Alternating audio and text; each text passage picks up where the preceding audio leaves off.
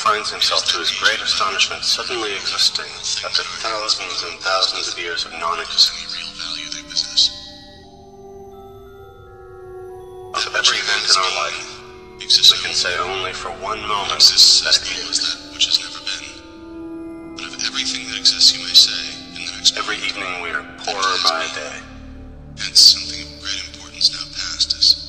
like a man running downhill who cannot keep on his legs unless he runs on, and will inevitably fall if he stops. Or again, related to the former as something to nothing. in a world where all is unstable Man and finds not himself can to endure, great astonishment swept suddenly onward at once after in thousands and hurrying whirlpool of of years of change, non-existence. where a man, Lives for a little while. refused to keep erect at all, must always be advancing and moving like an acrobat on a rope.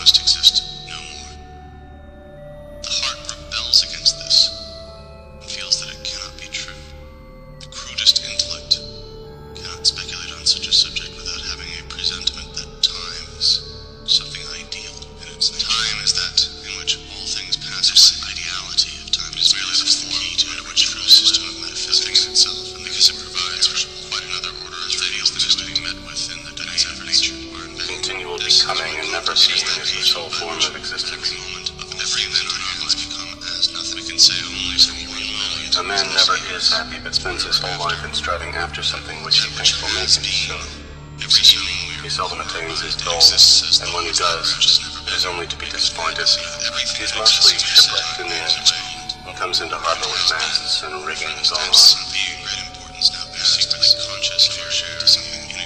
It is all one whether he has been happy or miserable, for his life was never anything more than a present moment always vanishing, and now it is over. Consideration of the kind touched on above, a man finds himself to his great astonishment. Time is that in which all things pass away.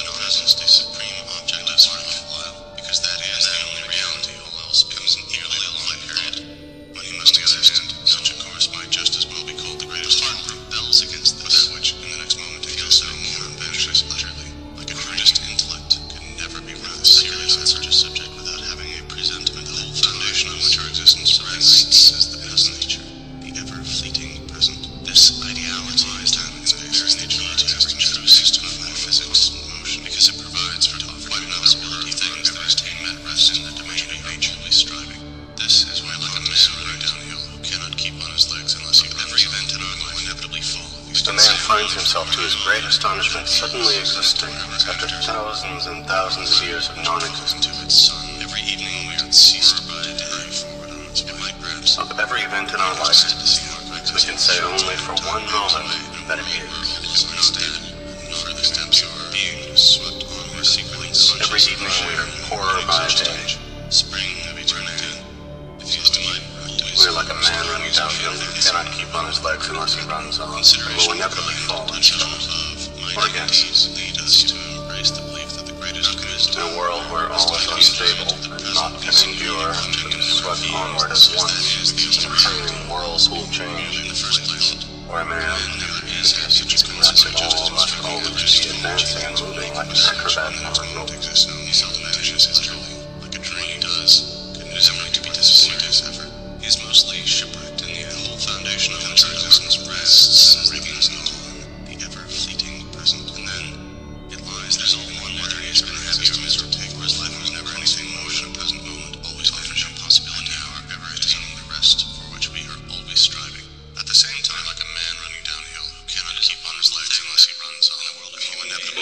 Continual becoming and never being is the sole form of existence.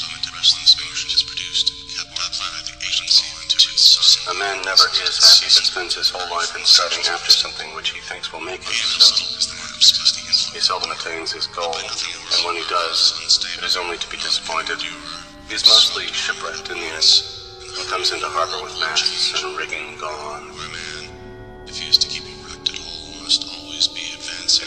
Whether he has been happy or miserable, for his life was never anything more than a present moment always vanishing, and now it is over.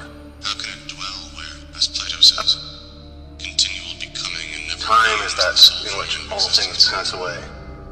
In the first place,